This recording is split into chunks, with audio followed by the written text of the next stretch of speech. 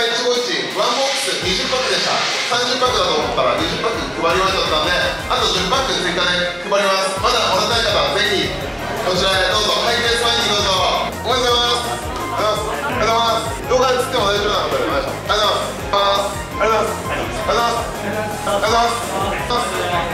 うございますういうございますおはようました。分30パック約5分ということでっていうことは時速だと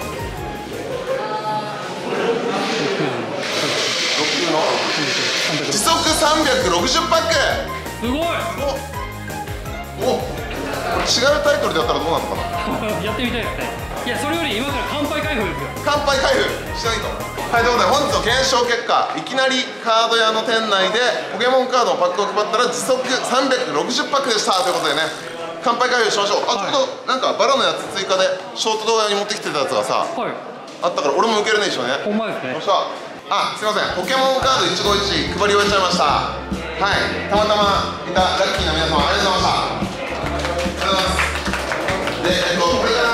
もってまだ向いてないよっていう方で一緒に乾杯でみんなで開封したい方いたら一緒に開封したいんですけどよかったらいかがでしょうかあ乾杯しましょう乾杯しましょうなんか集まってるけたら嬉しいですねこの辺で自販機自販機前あたりでどうぞこちらこちらこちらあありがとうございますはい、いいの引いたんで先行しましょう、はい、引かなくてもお店で買った気がしますはい、ということで昨日カード1000万円売り上げ突破しましたありがとうございます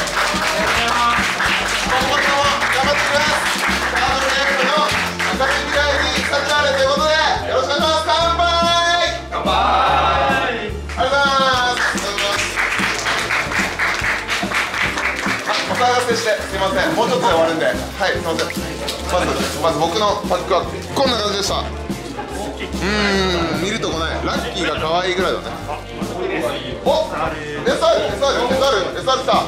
ああガルラあガルラ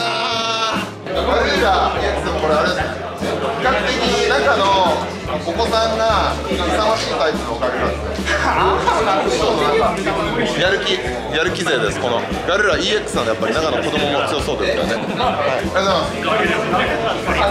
すおバリアードのアートレア出ましたあいいじゃないですかミュウツーのアートレアいいですこれかっこいいですよねすいません皆様突然お騒がせしましたありがとうございました暑い暑いさあということでねあの昨日に続き今日もなんかカード屋店内で新しいことやってみましたけどまだまだ正直そのカード屋 YouTuber って今までいなかったんでカード屋の中でいろいろ企画してお客さんに喜ばれながら新しいチャレンジをしてこう盛り上がり貢献していくっていうのはねまだまだ可能性が眠ってると思うんですよなんでこれからもねいろいろやっていきたいと思うんでぜひチャンネル登録動画の評価やコメントなどいただいた上で応援してもらえれば嬉しいですご視聴ありがとうございましたまた明日